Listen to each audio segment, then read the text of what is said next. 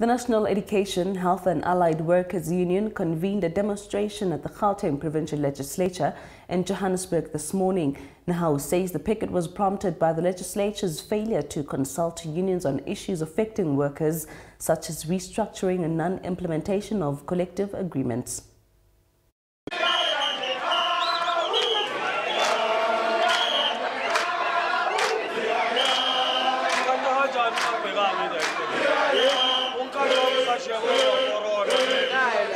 Maloko a union ya basebetsi ya national education health and allied workers union e leng nehau ka bokgutshwanyane a kgobokane meahong ya lekgotla la ketsamelao la gauteng pejana ka jeno sesosa sa kgobokano ena e ne e le ho ema ka ntswe le leng ho hlahiseng ho se kgotsofale ho ramosebetsi mabapi le ntlha tse akaretsang ho kgaolwa ga basebetsi mosebetsing ho sebetsa ka tlasa maemo a sa kgotsofatseng esitana le hore puso e hlomphe le ho arabela dilong tsa basebetsi hang ha di hlahiswa ketapeleng.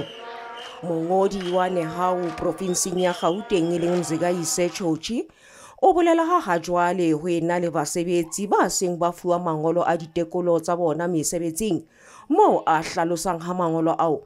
E le tsela ya hore maloko a bona a gaule mosebetsing ke ramosebetsi siyenzile isubmission yethu kuyo yonke lento bayenzayo. But kuyabonakala ukuthi bafuna uyifosa ngenkani ukuthi mayenzeke ngendlela abafuna ngayo.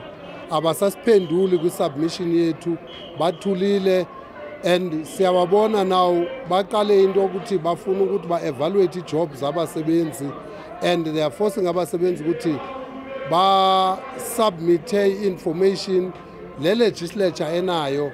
Chochi o bolela ha lengolo la ditletlebo le tlilo newa lekgotla la ketsamelao la Gauteng mme ba lebelletse karabelo ka morao ho matsatsi a supileng. Into ezokwenzeka if within 7 days abayenzi into esiyifunayo thina sohlala phansi sidecide ukuthi sawuthini. And asi as, as, uh, we are not ruling out strike ukuthi singastrike over this thing because umthetho uyavuma. I-employer xa ingenza into eright kufanele siyiforce ngendlela eyi-one esiyaziyo thina. And inye loo ndlela ukuthi masihlangane apha esitratweni.